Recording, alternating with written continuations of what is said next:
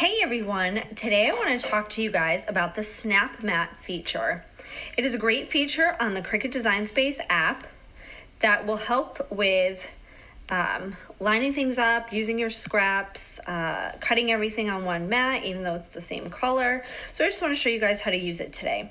So what I'm going to do is I'm going to go ahead and I'm going to make one inch circles. I selected my edit um, toolbar down at the bottom and I can change my dimensions. So I'm going to make one inch circles. I don't need them that big because I'm going to make a bunch of scraps. Now I have six different colors that I want to use today. So I'm going to go to the actions um, tab down at the bottom and I'm going to duplicate this six times.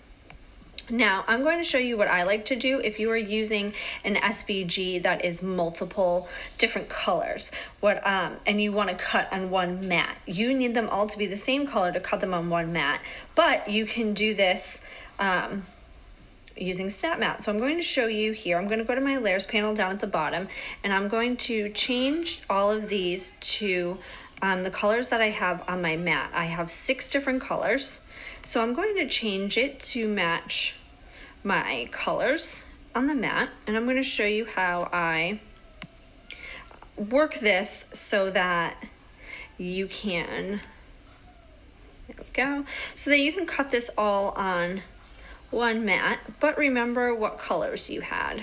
Um, it can be a little tricky sometimes. So what I like to do is go ahead and change, keep all the colors. So if you already have an SVG, it's already in the colors. I'm going to drag a box around everything and select it all.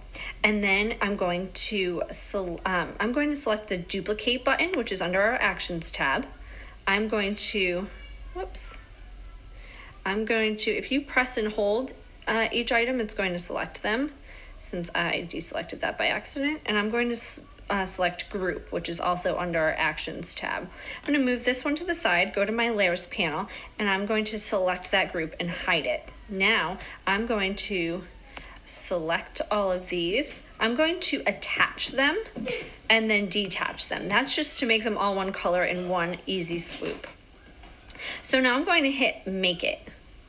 And in the bottom left hand corner here, we have SnapMat. So we're gonna mm-hmm. select that and it will give you some instructions here. Position mat closely to frame edge. The app will scan it automatically. Mount material on mat and hold device parallel to the mat. If you have any questions in the upper right hand corner, there's that little eye in the circle. It's just going to tell you to put it on a neutral background. I used my black countertop and just line it up. You'll notice those little bars that were there with the little dots will line it up for you and it's automatically going to take a picture of your mat. Now I'm going to be cutting cardstock. That's why I have my my light grip blue mat. So once this is taken the picture, I'm going to press views in the upper right hand corner and then I can just go ahead and I can move my circles, select and move my circles wherever I want. Now this is exactly what my mat looks like. So it's going to cut these in the exact position of where I move them. Now the reason that most people like to do this is to use up scraps or just to cut on one mat because we all know it's much easier to cut on one mat. So I'm going to select continue I, my device is on. I think I'm just not close enough to it yet. So I'm going to move a little closer. I'm going to select my maker. And I'm going to load my mat while I wait for it to come up. I, um, like I said, I'm using light cardstock, so I'll select the, select the light cardstock setting and I will select cut. And then I'll come back with you guys and I will show you how it cut precisely in the exact spots that we wanted it to cut in. Okay, now that my cut has finished, I'm going to unload my mat and I'm going to show you guys just how precisely it cut. It lined everything up exactly where I had it on the SnapMat. Switch it over for you guys. You can see it. Mm, there we go. Can you see? So that's how you use the SnapMat feature.